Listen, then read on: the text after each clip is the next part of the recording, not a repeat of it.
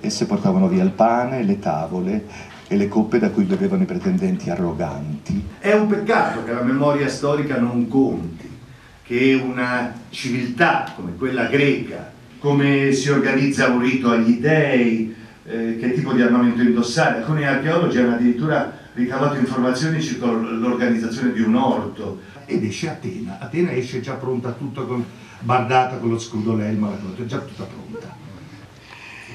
Dopo dieci anni di una guerra che non finiva mai, una bella mattina i troiani che stavano sempre con la testa penzoloni fuori dalle mura, Lucente, che è un po' una sorta di Ferrari di allora, eh, lui è costretto a rifiutare perché dice ma non potrei portarmeli ad Itaca e ripiegò sulla cugina Penelope.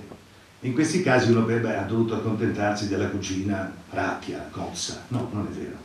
Quando il sole si è fatto vedere su quei morti e quelle case bruciate, sono arrivati tre o quattro uccelli che sono scappati via dalla paura, che si infilavano nella carne e facevano un male boia, ma non era mica un sogno, no, era vero.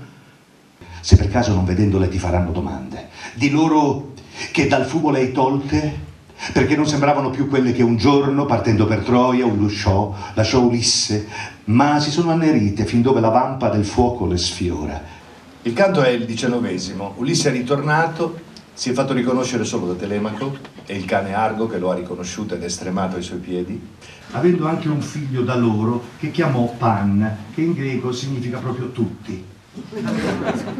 E allora Ulisse scoprendosi tradito, come fosse un ospite, illustre e guai a chi di coloro lo tormentasse invidioso. Più nulla a che fare avrebbe fra noi anche se orrendamente è la satira dove tutti i passanti compiono offerte